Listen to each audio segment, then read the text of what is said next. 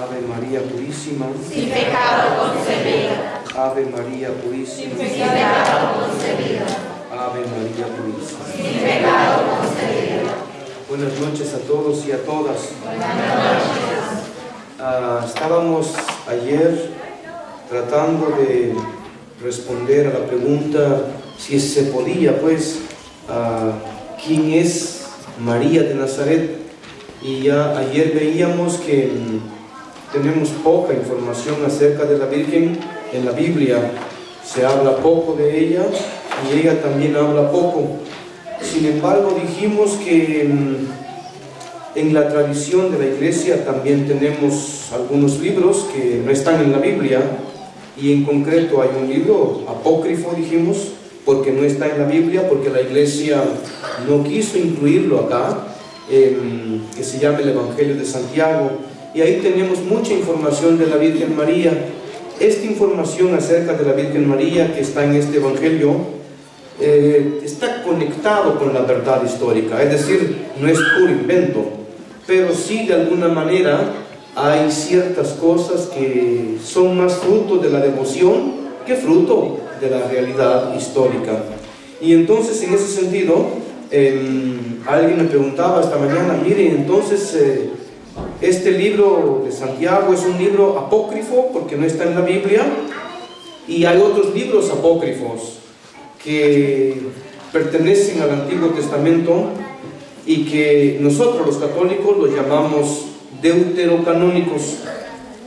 Sin embargo, de parte de los hermanos protestantes, uh, los llaman libros apócrifos, como por ejemplo um, Tobías, Sabiduría, Macabeos. Son libros que, a decir de algunos separados de la iglesia, contienen información que, está oculta, que no la queremos compartir o que está escondida. Y por eso se llaman apócrifos, porque la palabra apócrifo quiere decir algo que está oculto, algo que está escondido.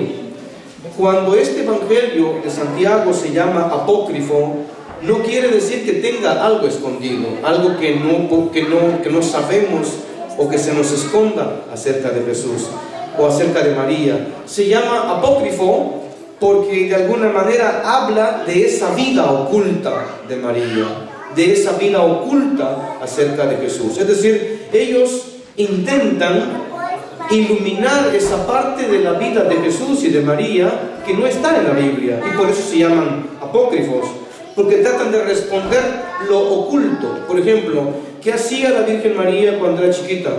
Según este Evangelio, ella se la pasaba rezando y se la pasaba sirviendo en el templo. Es decir, estamos tratando de dar una respuesta a algo que no sabemos. Y por eso se llama apócrifo.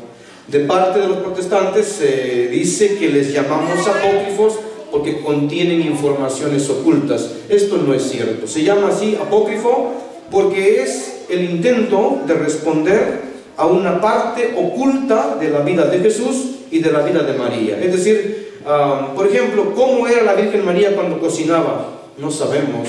Pero, por ejemplo, podríamos decir que cuando ella hacía las tortillas de un solo toque, estaban hechas. Es como ir respondiendo a esa parte que no sabemos.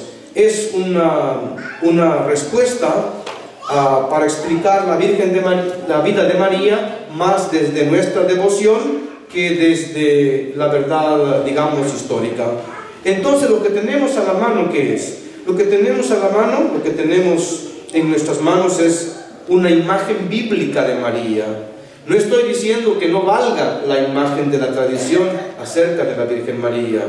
Los primeros cristianos sabían que la Biblia, bueno, de hecho ellos no tenían Biblia, pero cuando ya tuvieron su Biblia entendieron que no todo estaba en la Biblia.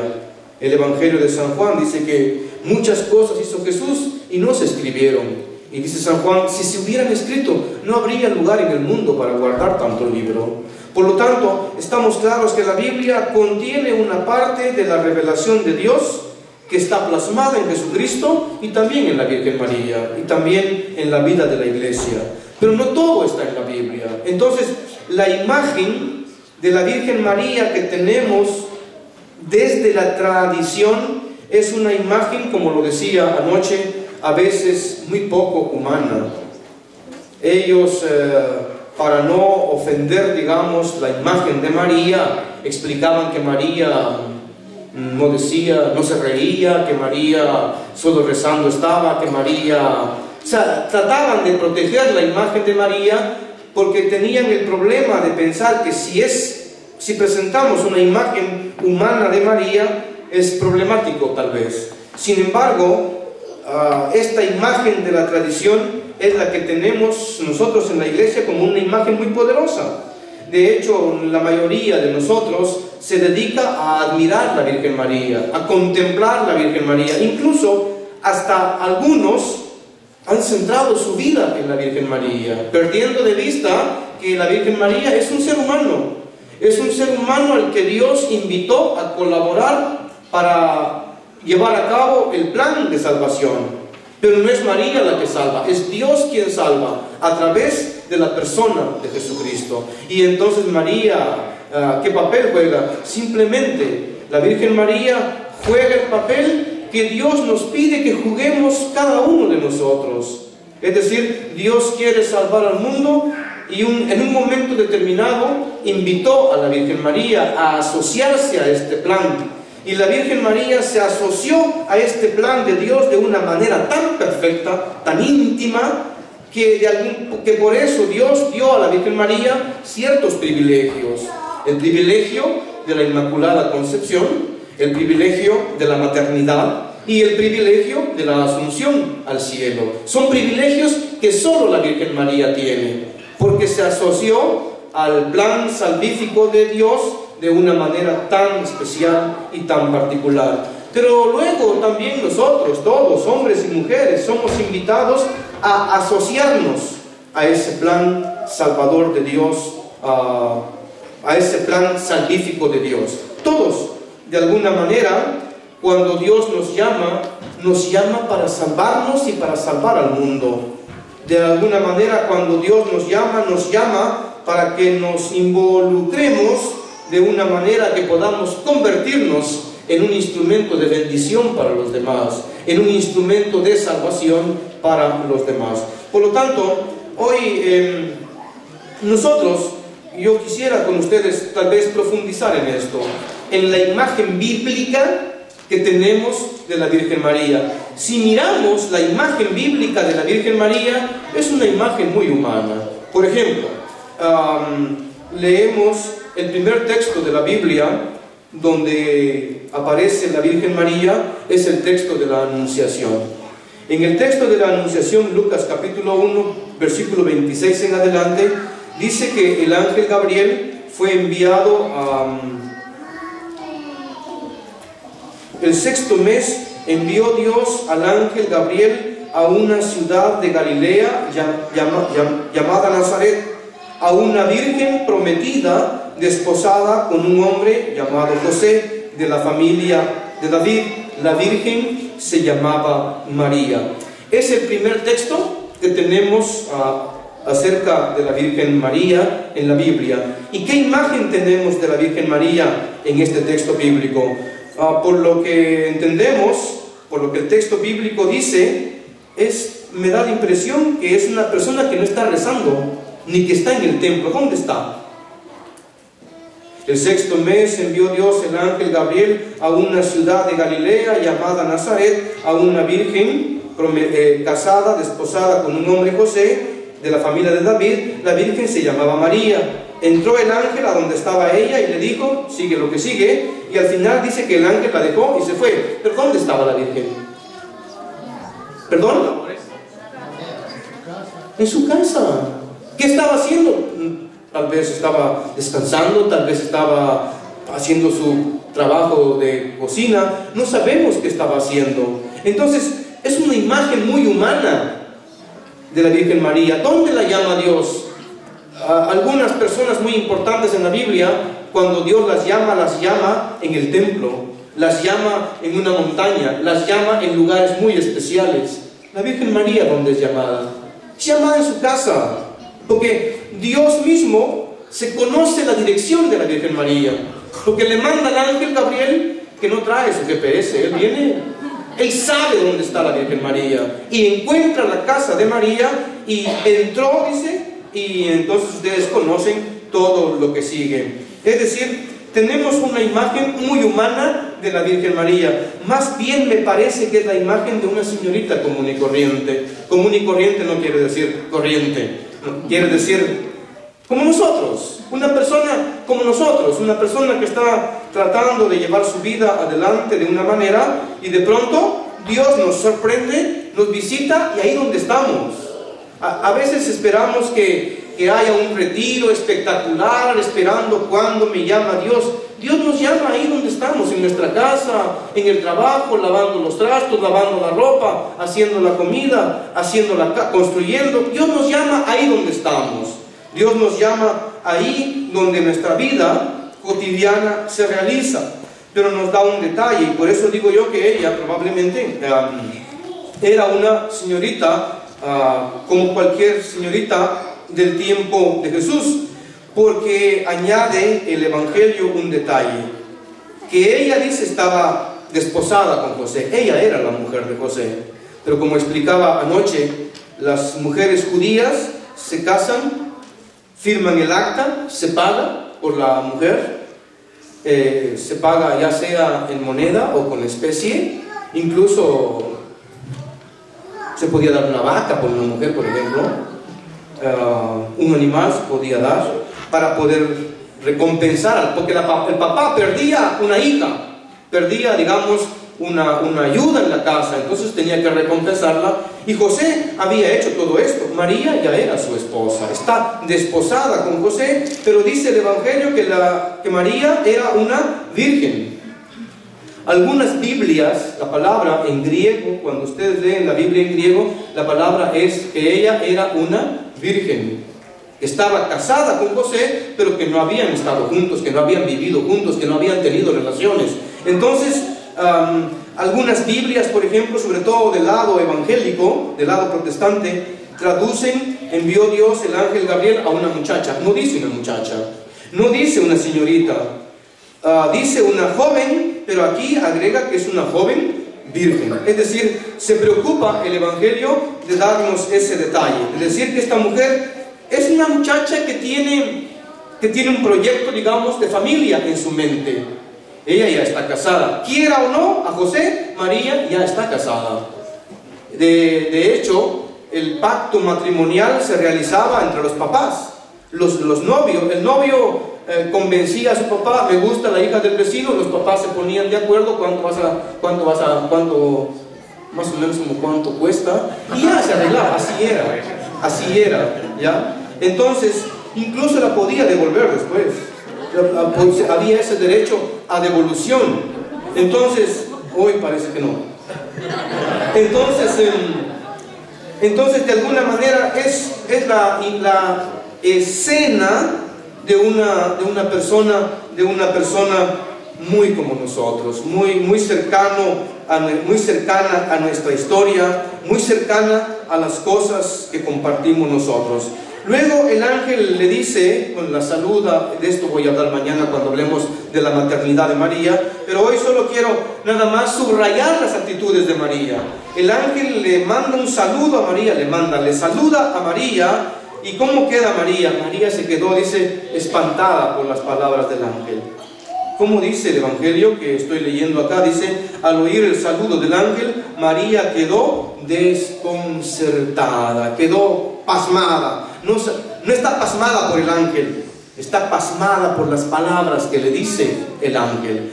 ¿Esa reacción es de una mujer súper especial o es una reacción de una mujer normal? ¿Qué les parece? Es la reacción de una mujer normal. Es la reacción de una persona, de una persona como nosotros. Cuando uno, cuando ocurre que en nuestra vida, por ejemplo, nos toca experimentar bendiciones de Dios tan grandes, nos quedamos pasmados, nos quedamos con la boca abierta, nos quedamos sorprendidos. Esa es una actitud humana. Y la Virgen María no se sorprende por el ángel, se sorprende por las palabras que dice el ángel. Porque las palabras que dice el ángel son, llena eres de gracia y el Señor está contigo. Y María seguramente habrá pensado, yo, yo María, la mujer de José, yo, jovencita, yo aquí cocinando, pienso que eh, encarna toda esa imagen humana de la Virgen María. Y, no solo, no solo María, no solo se sorprende con las palabras del ángel, el ángel cuando la ve espantada le dice, no se asuste María, le dice, no se asuste, no tenga miedo, no tenga pena, porque usted dice, goza del favor de Dios. Y por eso dice, usted va a concebir y va a dar a luz un hijo al que le pondrá por nombre Jesús. Es decir, el ángel le dice a María que no se asuste. ¿Quiénes se asustan? Las personas. Y entonces el ángel comienza a decirle a María unas cosas que parece que ya están decididas. Porque dice, concebirás a luz un hijo, concebirás y darás a luz un hijo, al que llamarás Jesús. Él será grande, él llevará el título de, del Hijo del Altísimo. Dios le dará el trono de David su padre, para que reine sobre la casa de Jacob por siempre, y su reino no tendrá fin. El ángel le dice a María que no se asuste, pero luego no le pregunta a María si quiere o no quiere. Solo le dice, usted va a concebir un hijo y va a dar a luz un hijo y le va a... O sea, prácticamente ya todo está decidido. ¿Quién lo ha decidido?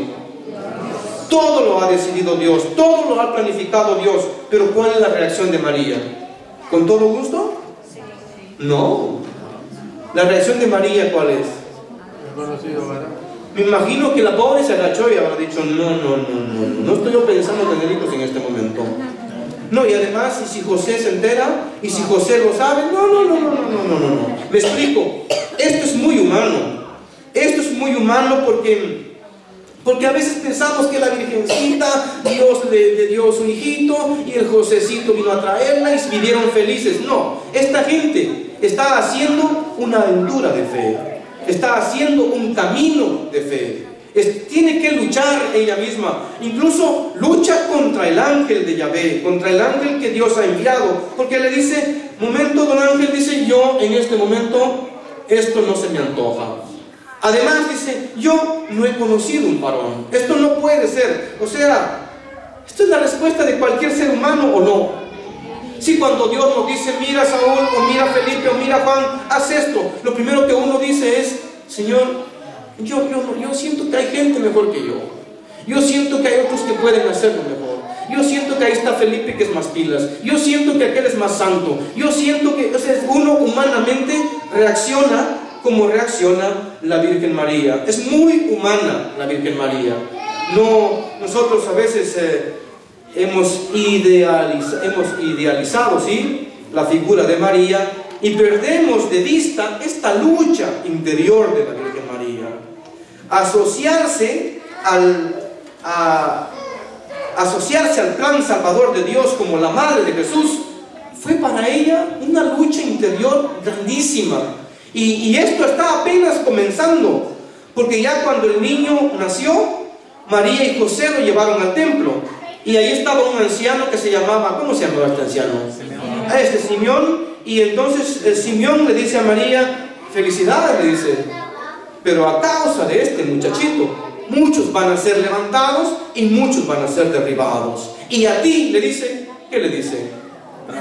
Una espada te va a atravesar tu corazón. O sea, el patojito apenas tiene 40 días y ya trae malos, ¿cómo se dice? malos augurios, malos augurios. Ya, entonces, esto es una experiencia muy humana, muy humana. Usted, eh, María hace la experiencia con su hijo como la hacen ustedes. Usted ve a su hijo cuando nace, es un angelito. Usted no se imagina qué va a hacer cuando sea grande, ¿verdad que no? Después uno dice, pero ¿cómo se fue convirtiendo este en lo que ahora es? Si cuando era chiquitito era... Sí, eh, María hace la misma experiencia de una madre de familia desde el punto de vista humano. Entonces, em, ella entiende que Dios la llama a ser madre, entiende que es un gran, gran milagro, pienso, pero ella, desde el punto de vista humano, como responde cualquier ser humano, cuando Dios nos llama, es mm, mejor que el otro. Yo me gustaría, pero en este momento no. Es lo que decimos nosotros. Cuando vienes a ayudarnos en la comunidad?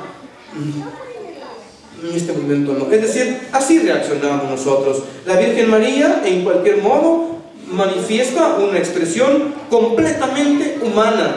Y esto la, la pone cerca de nosotros. También a ella le costó, también ella hizo una lucha interior para meterse en el proyecto de Dios. No tenemos que pensar así, que chilero, la Virgen y José. No, ellos.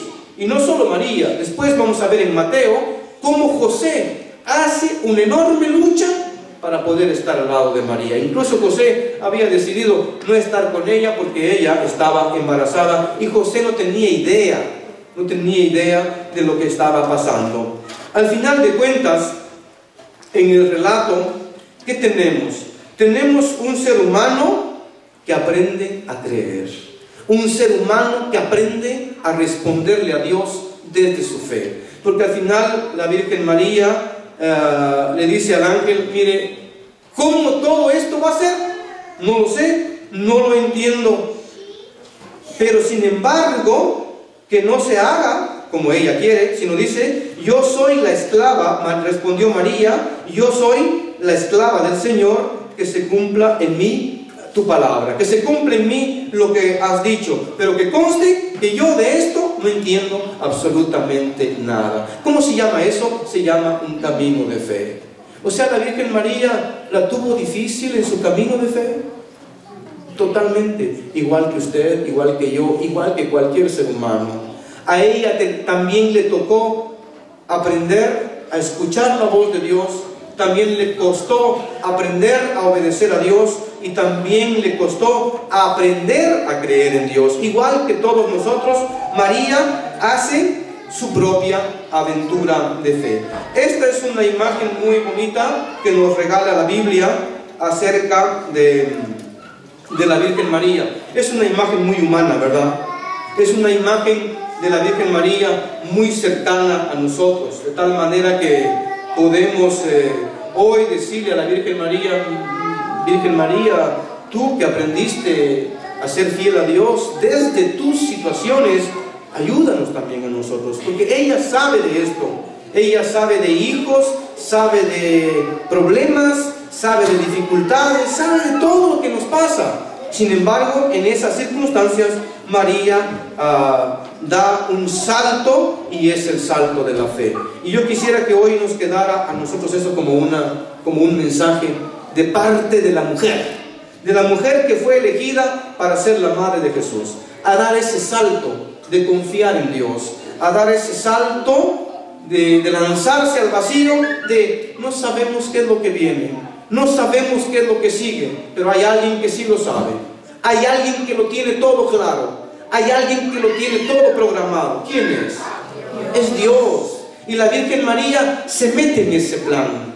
No lo entiende, pero ella sabe que hay alguien que sí lo sabe. Y por eso la Virgen María se fía del ángel y le dice que se haga en mí uh, como tú, eh, que se cumple en mí la palabra que tú me has dicho. Y luego dice el ángel, ¿qué hizo?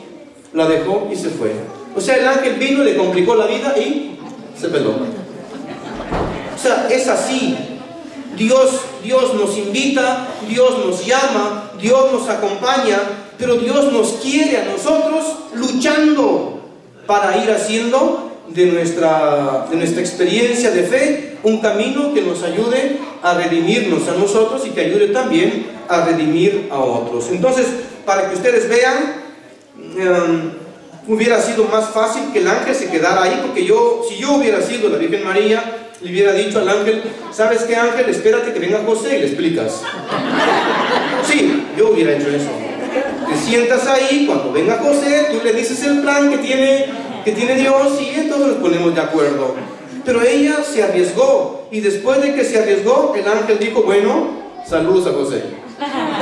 Es, es, es bonito, porque ella es una mujer.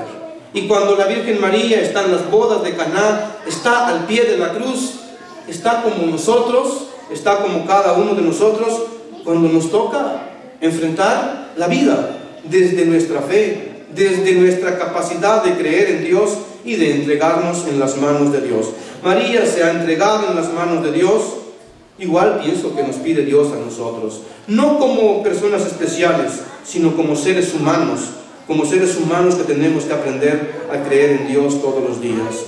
De este texto saca la iglesia, el Papa Pablo VI, cuando escribió la, la, encíclica um, Marialis Culto, se llama, el culto a María, en el 1974, el Papa habla de que la Virgen María como la imagen que está de la Virgen María en la Biblia, dice, nos sirve como modelo. Y cuando el Papa explica este texto, el Papa nos dice que en este texto la Virgen es modelo de oyente. Modelo de oyente. Es la persona que oye la palabra de Dios, le cree a Dios y le obedece a Dios. O sea que el Papa, leyendo la imagen de la, de la Virgen María en la Biblia, nos dice que ella en un primer momento es modelo para nosotros. ¿Modelo de qué? Es modelo de oyente. Porque ella, el oyente verdadero, cree la palabra que se le dice y el segundo la pone en práctica, la obedece. En el capítulo 11 de San Lucas, una señora, una señora vio cuando iba pasando Jesús. Me imagino que Jesús era una persona muy atractiva, Jesús atraía a las personas. Pienso que él era un, tipo especial. Y entonces una doñita, una, ¿sabe qué sería doñita? No sé cómo estaría la cosa.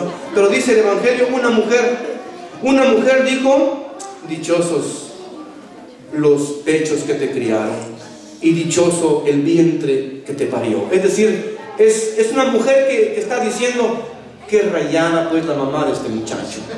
O sea, ser mamá de un hijo como este vale la pena, ¿no? Como estos que están en mi casa.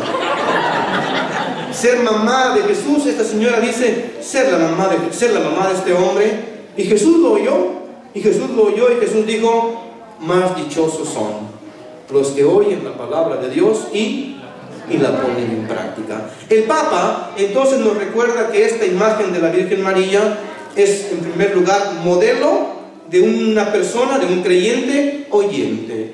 Un oyente es aquel que oye la palabra, cree en esa palabra y obedece esa palabra.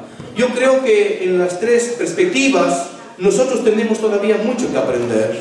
A veces más o menos oímos y cuando oímos no nos fiamos de esa palabra y mucho menos ponerla en práctica. Por lo tanto, eso tenemos que recordar. Virgen en la Biblia, el Papa dice, tenemos un regalo de esta mujer como modelo de la Virgen oyente, es decir, la que oye la palabra, la que cree en esa palabra y la que pone en práctica esa palabra. El Papa también leyendo esta imagen de la Virgen María en la Biblia, también nos recuerda sobre todo Ah, delante de las cosas que le pasan a la Virgen María, solo Lucas, solo Lucas nos dice en el capítulo 3 que la Virgen María y José fueron allá a Jerusalén para la Pascua, ¿se acuerdan?